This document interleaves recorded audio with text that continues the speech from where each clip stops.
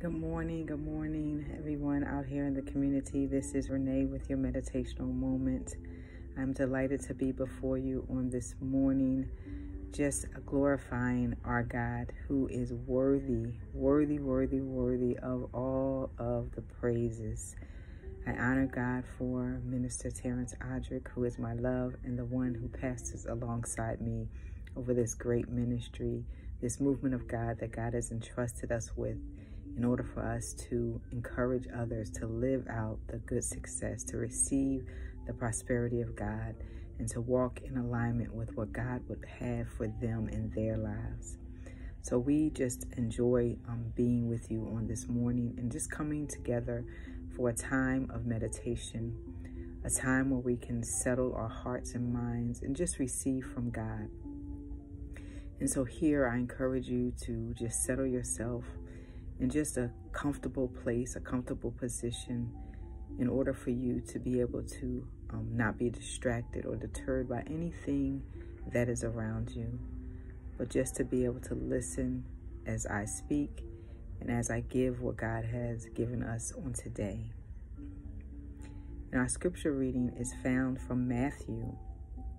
And I'm going to read Matthew chapter 5 I'm going to read a few verses on this morning, verses 1 through 10. And Jesus gathered around him and he taught them. Those that he taught were the disciples. He said, God blesses those people who depend only on him. They belong to the kingdom of heaven. God blesses those people who grieve. They will find comfort. God blesses those people who are humble. The earth will belong to them. God blesses those people who want to obey him more than eat or drink. They will be given what they want. God blesses those people who are merciful because they will be treated with mercy. God blesses those people whose hearts are pure they will see him. God blesses those people who make peace. They will be called his children. God blesses those people who are treated badly for doing right. They belong to the kingdom of heaven. God will bless people when people insult them or mistreat them and tell all kinds of evil lies about them because of God. Be happy and excited. You will have a great reward in heaven. People did these same things in the prophets who lived long ago. And so when I read this portion of scripture, my heart leaps because it just lets us know that we are covered by an almighty God, that God sees us. He knows everything that we are experiencing, going through, and through it all, God blesses. And so that warms my heart on today. And I pray that it warms yours and encourages you in such a way that you're able to receive all that God has because God blesses. He wants to bless you in the places where you are. He wants to bless you in the things that you are doing. He wants to bless you in the ways that you're showing up for him.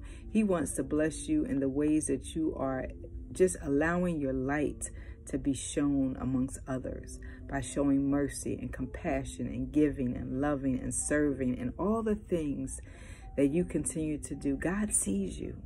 And so our mantra for today is that God blesses. So open up your heart and your minds so that you can receive all the blessings of God. Every single day, he's pouring out blessings all over this earth for all of his children. It says it right here in his word. This happened for the prophets of old and still for today. And so we are living in the present day of God's enormous blessings. And so we're going to have our hearts open on this morning. And so as we begin to breathe and exhale, thank you, Lord. As we just raise up our arms and lift them up. Glory to God. Just reaching up to our Heavenly Father. just allowing Him to know that we are in just a mode of reception, just to receive all that He has for us on today, just to receive all that He wants to reveal to us on today. Thank you, Lord. And as we gently lower our arms, we exhale.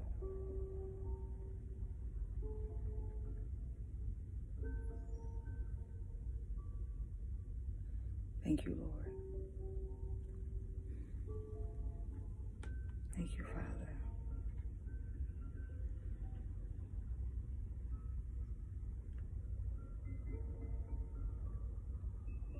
We glorify you in this moment, God. We bless you in this moment, Lord Jesus, and we thank you for how you continue to show up in our lives. We thank you, Lord, that for each and every one of us, for the characters that we exhibit, and for the way that we continue to show up on your behalf, that you are opening up windows of blessings for us. And as we breathe, Lord God, we expel all of those thoughts that may try to tell us that we're not worthy, that God is not going to bless us, that God is not pleased with what we're doing. We expel those things into the atmosphere, God, and we receive your love. Thank you, Lord. We receive your forgiveness and your mercy.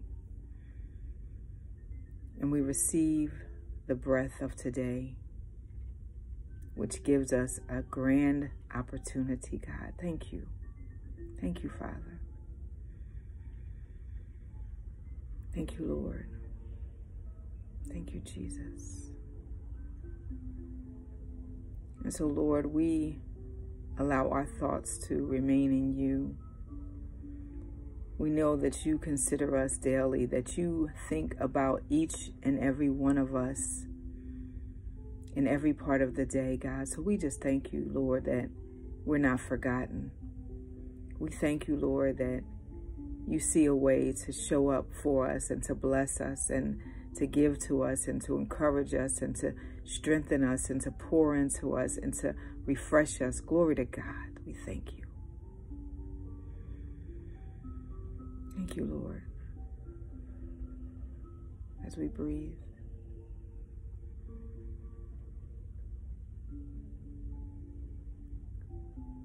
And in this moment, God,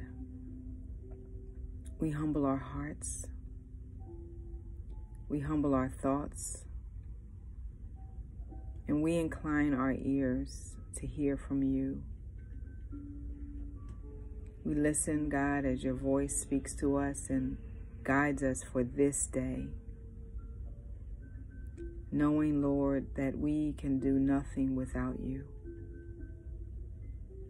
And so we put our own agenda aside. And we ask, Lord, that you will speak and guide us so that everything that we choose to accomplish today will align with what you have designed for us.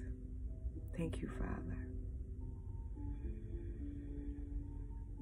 Thank you, Lord. We are listening.